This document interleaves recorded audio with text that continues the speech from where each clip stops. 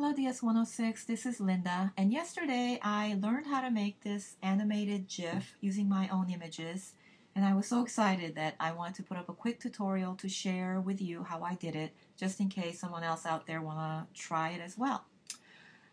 So I'm going to start from this point because um, I chose the option of automatically aligning my source images, which I highly recommend doing. Um, but that process takes a little while for the Photoshop to go through. So I'm going to include a link uh, that directs you to Alan's tutorial on how to get to this point. So let's um, just assume that you are at this stage and let's go from here. Um, from here, I'm going to select all the layers and group them all into one group so I can crop all the images all at once. So I'm going to go into layer, group layers, and now you have one group.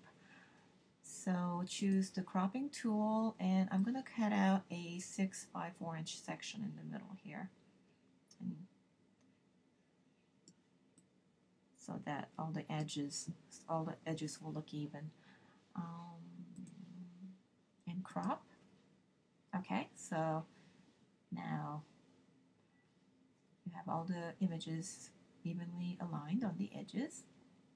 And while I have them all grouped, I'm also going to go into image and resize the image, image, image size, so that I can resize it to um, to fit my blog the way I want it. So I'm going to uncheck resample image and go in here and change this to 300 dpi and check resample image again go up here and um, I'm going to make it 600 pixels wide because that fits perfectly on my blog. But that will all depend on the theme that you have, but we'll go with 600 for now. Hit OK. So now we have our image resized.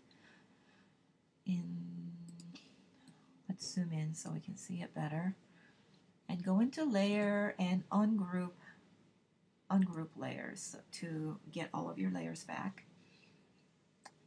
And go into window and open up your animation window. And I see the animation frames window here but when I first um, opened this I saw this the timeline so when you see this all you have to do is go down here and click on this image or on this icon down here and you will see the animation frames.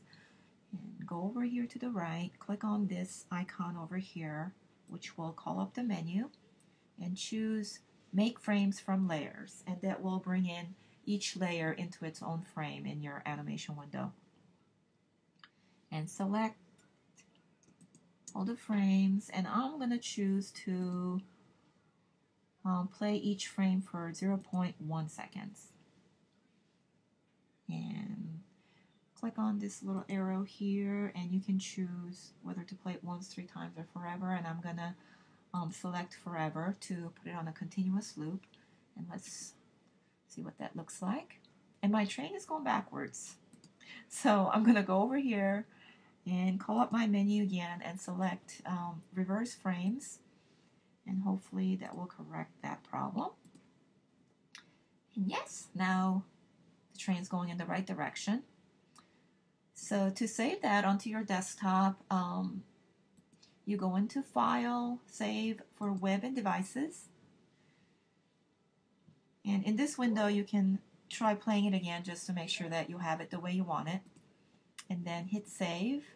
And I'm going to choose here I'm going to choose HTML and images so I can show you what it will look like once it's inserted into your blog. I'm going to name this train to tutorial and save.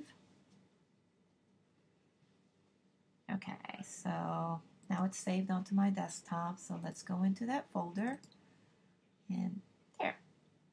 Um, when you insert it into your blog, you're actually going to um, insert this GIF file, but um, right now I'm going to show you what it will look like once you have it inserted.